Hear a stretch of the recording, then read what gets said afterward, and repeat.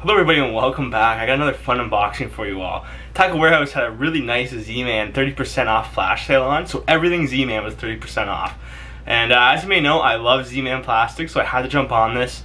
Grabbed a few things, some plastics, I grabbed a couple chatterbaits, um, and made just took full advantage of that. I also grabbed a couple other baits, some uh, Yamamoto Yamatanukis and uh, things like that. So we're gonna open everything. Gonna rig it all up, show you how everything kind of looks, pair some trailers with some jigs, and then uh, we'll finish up from there. So I'll quickly just touch on this uh, core tackle stuff that my friend actually ordered. I split the order with him just to save on shipping, you know, as I usually do with these videos. And he grabbed these, uh, he's kind of the guinea pig for this. The core tackle stuff I've seen on YouTube that for a while now. Uh, Matt Stefan, he's the one that kind of promotes this. I think he's part owner or something like that. And uh, it looks really nice. Just some really interesting jigs and kind of rig setups for soft plastics. So he actually picked up here, this is the swim jig from Core Tackle. And uh, hard to see, but there is like the, the weight, the actual lead weight part kind of goes up the hook there. And so, uh, you know, I think it balances everything out, kind of makes it more even. These are really cool. So this is the Tush, the ultimate swim bait hook. And unfortunately I can't rig this up because it is just going to tear right through my plastic. But what you do is, I don't know if you can see there on that diagram there, but your plastic goes all the way over that weighted part. So that uh, where that, that, that, that loop is to tie to your line, it just comes right out of the tip of the plastic. So kind of makes things a bit more compact, a bit more, uh, you know, nicer looking in the water. You just have that plastic presentation. You don't have to worry about a large jig head or anything like that hanging around. And uh, we'll see. He's a guinea pig for this, so uh, we'll get some footage throwing it around and uh, see how good it works. And then maybe I'll pick some up. So not only was Z-Man on sale, but I also noticed these were on sale. This is the Yamamoto 2.5 inch Yamatanuki, and a heavy green gizzard. So these are, are, are Yamamoto's kind of version of the heavy soft plastic, you know, scat bait is what they call them. And I wanted to buy, there's the Deps cover scat. I've seen a lot, a lot of retailers that I've kind of wanted to buy that to try. But my friend picked up these, these are the Yamatanuki, and it's like a heavy weighted soft plastic. I don't know the exact, uh, you know, weight of these, but I know the bigger ones are like a quarter ounce. So we'll see. Gonna be fun to throw. He used it recently. We, we went out uh, last weekend. He used it and he crushed uh, a lot of dink largemouth. But you know, a bit of a numbers bait, but it seemed to work really well this smaller size. So I decided I'm gonna copy it. I picked it up. Picked a bit of a lighter color though. That gizzard green looks kind of nice. I think it's cool to me. I don't know. Something a little more natural kind of for that, um, you know, for the clear water that I fish. And so people say, you know, for you these, they really get torn up pretty easily. Yamamoto baits kind of on in general, I find get torn up pretty easily, but these are very heavily salt impregnated and just, you know, a very not that durable plastic. So I picked up some hooks to use it with. These are these like screw lock EWG kind of hooks. Um, so basically the same as you would with a regular Texas rig EWG, but instead you're screwing that tip in. So we're gonna rig this up and I'll show you kind of how it looks. So there it is rigged up. So they kind of say that this size goes best on a 2-aught hook. My friend actually used the 1-aught just because that's what was at the store at the time. And I think the 1-aught works pretty nice because what happens is you have a slit on the bottom of the plastic. So you don't have to worry about that hook getting buried. Because you have a slit on the top, you also don't have to worry about burying the hook. So I think that's that smaller hook works pretty good. I think it works fine. I mean, he caught lots of fish, but they didn't really miss bites. So it's not something I'm really worried about. And uh, yeah, pretty much just like you would with a regular Texas rig Senko or something like that. You're gonna drop this out there. This is gonna float down pretty much sideways. And as it does, that tail is obviously gonna flutter like crazy. So I'm gonna try this with a smaller two, I think it's what is it? What did I say? One and a half, two and a half inch?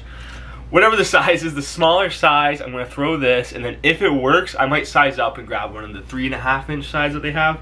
And uh, you know, see if maybe they'll get the bigger fish on. But for now, we're gonna throw this around and I'm pretty excited to do so.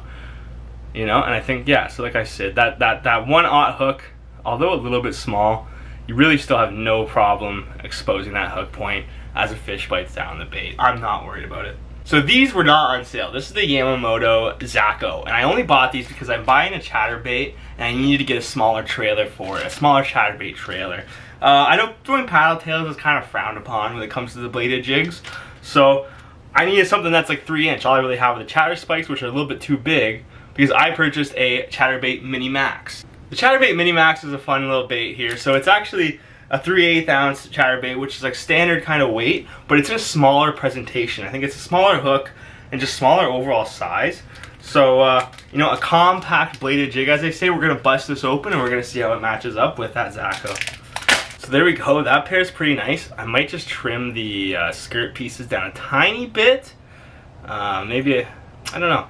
Yeah, that does look okay though. That's not bad. So like I said, trim the skirt down a little bit, just closer to that edge of the hook.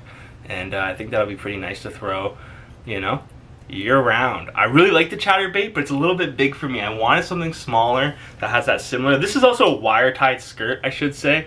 Um, really nice and secure. Better than those rubber bands you get on just the regular chatterbait. So that's kind of a nice upgrade as well. And a bit smaller blade here, so, you know, either way, gonna be fun to throw, just a standard kind of chatterbait thing. And, uh, you know, blade jigs work well, we know that, so excited to throw this. Yeah, so that's a Gizzard Shad Chatterbait Minimax, and that is the smallmouth magic uh, Zako. That clear bottom with a little bit of green on the top there. Gonna be a nice little natural color. This here's another Chatterbait. This is the Chatterbait Custom in the Bite Delight color. So a little bit of green pumpkin, a little bit of white, um, a little bit of chartreuse, and uh, pretty standard thing here. The, the custom chatterbaits are kind of neat. They're like just different colors, different hook sizes, things like that. Just different different builds, I guess, of the standard chatterbait um, that you can't really seem to get on cer at certain retailers. But I didn't buy this for anything special. It was just a cheap, pretty cheap one that was on sale that I wanted to give a try to. So I accidentally bought two of these, but there you go, standard chatterbait. I'm gonna, like I said, I have chatter spikes that I'm gonna pair with this and I think it'll be okay. Um, that just has a regular banded skirt, which isn't great. I was kind of hoping this would be like a wire tie or something like that, but I mean, either way, nice standard bladed jig will do the trick. I really like that color. So moving on, these are the Texas Eye jigs and the Texas Eye Finesse jigs. So this is just a smaller size. These are some pretty neat things I've had my eye on for a long time now.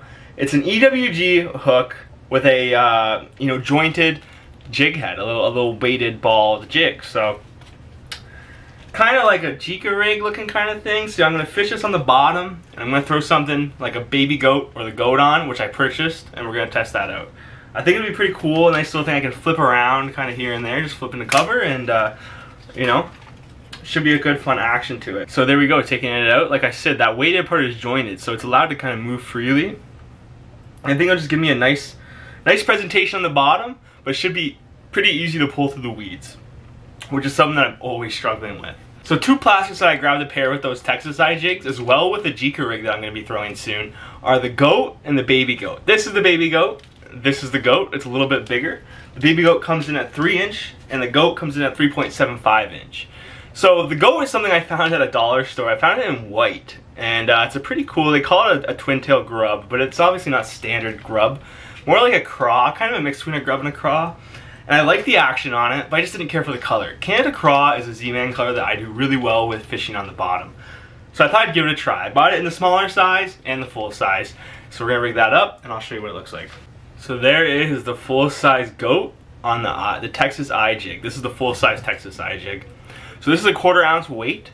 And uh, yeah, gonna fish that on the bottom like a would a normal Texas rig. But uh, have that jointed eye on there, like give a nice good action. So there it is. This is the full-size goat rigged up on the full-size Texas eye jig. And, uh, you know, pretty simple, just like you would a regular Texas rig. And uh, I think that's going to be fun to flip around and just, you know, find cover and uh, pitch to it and hopefully catch fish. So, same thing, same exact thing with this one as I would with the smaller, the Finesse Texas eye. Except I'd use the baby goat, as that just kind of matches more than the size side of things. And, uh, you know, more smaller Finesse presentation if that's what the fish are honing in on. My battery totally died on me there, but I got one bait left, so we're gonna finish things up. This is the Z-Man ZinkerZ. The Zinkers, I don't know how you really pronounce these Z-Man plastic names, but this is in the green pumpkin goby color. It's just a standard stick bait. So a lot of times Z-Man stuff, the ElaZtech stuff, it just floats, right? It all just floats. I want a ElaZtech sinking worm, and that's why I picked this up. The ElaZtech is super durable, so even though this sinks and it's, you know, full of salt, it still has that stretch, that elasticity that makes the elastic last a long time. And uh, I think it's just, it's, it's, it's, really good. It's durable, right? So it's gonna last a bunch of fish. Right now I use Yum Dingers as my main stick bait. And while it works, they don't have that durability. I'm going through them pretty often. So I wanted to pick this up and give it a try. I'm not gonna bother Texas rigging this, but I think this wacky rig will be a really nice bait. So that's it, all my Z-Man and other stuff that I bought. Just like I said, a small order, just some essentials that I know I'm going to want and use. and I jumped on the sale while I could. Thank you all for watching, guys. Please like, comment, subscribe. Tight lines out there. And uh, if you enjoyed, stick around and watch some recommended or my most recent upload. Thank you all for watching.